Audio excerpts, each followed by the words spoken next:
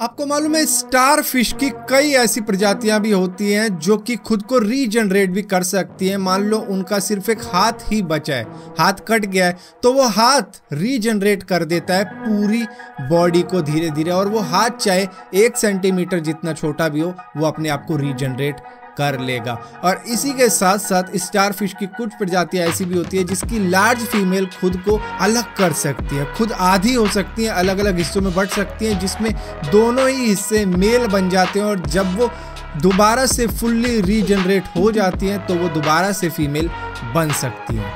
यानी amazing welcome to amazing random fact मेरा नाम है बारिश शर्मा। आप देख रहे हो, देखो उसको आशा करता हूँ। आज का दिन आपको बहुत अच्छा बीत रहा होगा।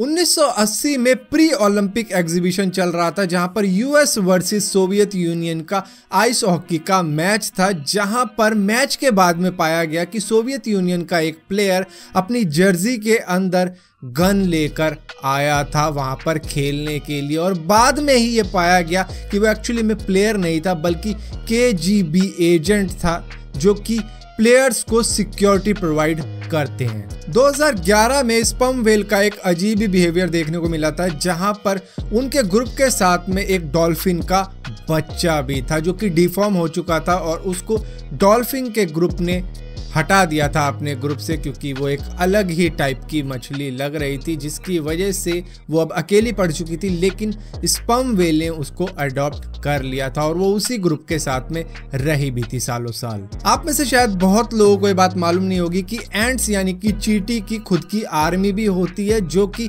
अपने ग्रुप को बचाने के लिए फाइट करने जाती भी है, अगर किसी ने अटैक कर दिया है। जिसके बाद में कुछ जो घायल हो जाते हैं, उनके लिए पैरामेडिक्स की स्क्वाड भी होती है, जो कि उनको उस सिचुएशन से निकाल कर सेफ़ जगह लेके जाते हैं और वहाँ पर वो एक चीज़ ज़रूर देखते हैं कि जिस भी जगह पर चोट लगी है, वो स्टेबल रहे और जो भी घाव है, उसको वो चाट के साफ़ करने की भी कोशिश करते हैं। 1999 में फिलीपीन के अंदर अचानक से लाइट चली गई थी और चार करोड़ लोग अचानक से अंधेरे में पहुँच चुके थे, जिसके बाद में सभी लोगों को ऐसा लगने लग गया था कि शायद फिलीपीन के ऊपर अटैक हो चुका है, जिसकी वजह से हमारे पूरे देश की लाइट चली गई। लेकिन बाद में पता चला कि जो पावर प्लांट है, जहाँ से उनकी बिजली जनरेट हुआ करती है, उसके कूलिंग पाइप में कई सारी जेलीफिश फंस चुकी हैं, जो कि करीबन इतनी सारी जेलीफिश थी जो 50 ट्रक में भी भरी जाए तो भी शायद कम पड़ जाए। आई एम श्योर ऐसा हम सभी के साथ में होता है कि हम कोई मूवी या फिर सीरियल देखते देखते ही सोने लग जाते हैं और अचानक से सो जाते हैं,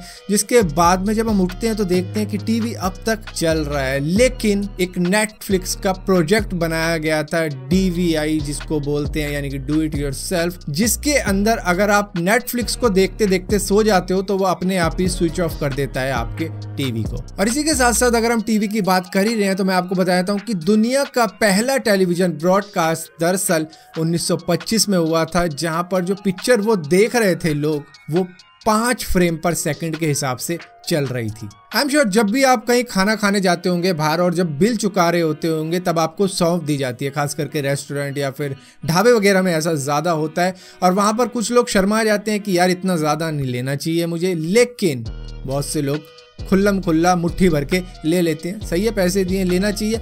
और यहीं पर आइकिया के फाउंडर इन गवार कंपार्ड भी ऐसा किया करते थे, जब वो कहीं बाहर खाना खाने जाया करते थे तो उनको अगर टी बैग मिल जाए, शुगर मिल जाए सॉल्ट मिल जाए पैकेट में तो वो अपनी जेब में डालकर आ जाया करते थे उसको। जबकि उनकी वर्थ उस टाइम में 60 बिलियन यूएस डॉलर हुआ करती थी, लेकिन वो फिर भी ऐसा किया करते थे।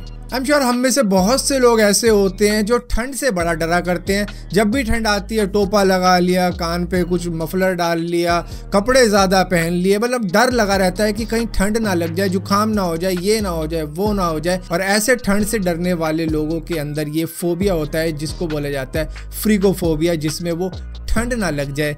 उससे डरते हैं। आपको मालूम है, दुनिया का सबसे महँगा perfume Clive Christian number one passant guardant है, जो कि करीबन एक लाख तिरालीस हज़ार यूएस डॉलर का है, जिसको इंडियन करेंसी में अगर कन्वर्ट करते हो तो होते हैं करीबन एक करोड़ एक लाख रुपए, और ये बोतल सिर्फ़ तीस एमएल की होती है। आप कहोगे कि तीस एम की बोतल वो भी एक करोड़ एक लाख रुपए की? तो मैं आपको बता देता हूँ कि दरअसल इस बोतल में लगे होते हैं 2000 डायमंड।